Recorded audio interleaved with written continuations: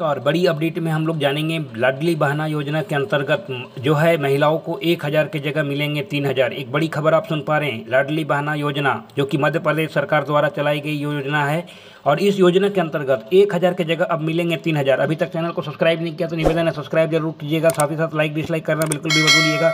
जो कि सीएम ने किया एक बड़ा ऐलान, यानी कि एक हज़ार रुपया देने की बात था, लेकिन अब दिया जाएगा तीन हज़ार रुपया। एक बड़ी खबर आप सुन पा रहे हैं इजी केस पॉइंट का ऑफिशियल चैनल पे।